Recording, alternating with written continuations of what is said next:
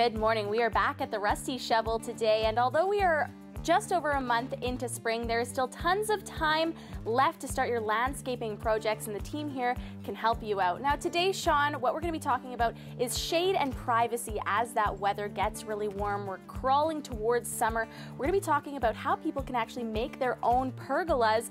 Lots of uh, steps involved here. Why don't you tell us uh, about some of the products you have that can help? Yeah, so this uh, product line actually came out of a personal need. We had a deck that got really hot in the summer and I needed a solution. I'm not the master woodworker, so I didn't want to be messing around with building a full-on pergola, but I wanted still something that provided some structure. So um, we brought in uh, this Nesling line. Um, we've got pergola brackets here um, that allow you to make a quick and easy pergola structure that we can provide some shade from.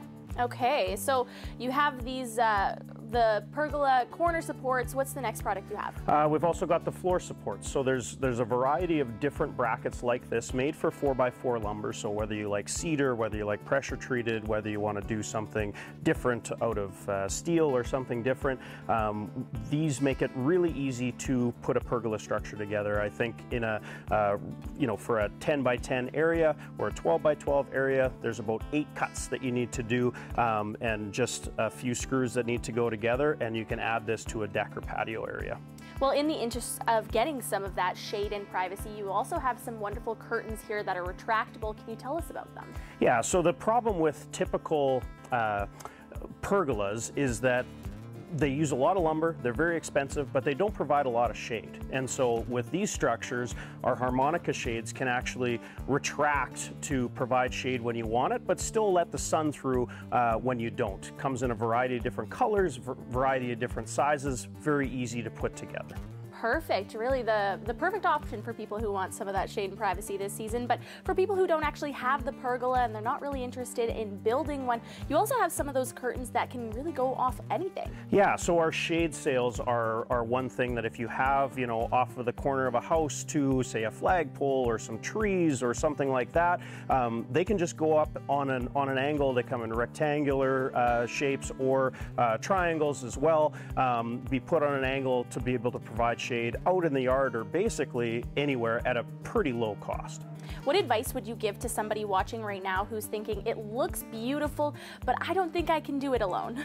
Yeah, so the we're here to help. That's the basis of the Rusty Shovel, not just a place where you can buy things, but we can actually provide some help for you as well. So um, if you go to the website, we've actually got at therustyshovel.ca a place where you can take pictures of your space, uh, provide us with a few basic measurements, and we can help figure out what you're going to need for materials, um, how you're going to be able to build it. We could even find somebody to build it for you, and then of course price it out.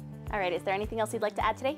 Um, I think just you know, it's a it's a non-permanent way to provide some shade and and some privacy with our roller blinds as well, where uh, you can still feel the sun if you want it, get protection from it when you don't. Well, thanks so much for having us here today. Of course, if you want some more advice on landscaping this spring, tune in next week. We'll be right back here at the Rusty Shovel. Love your landscape.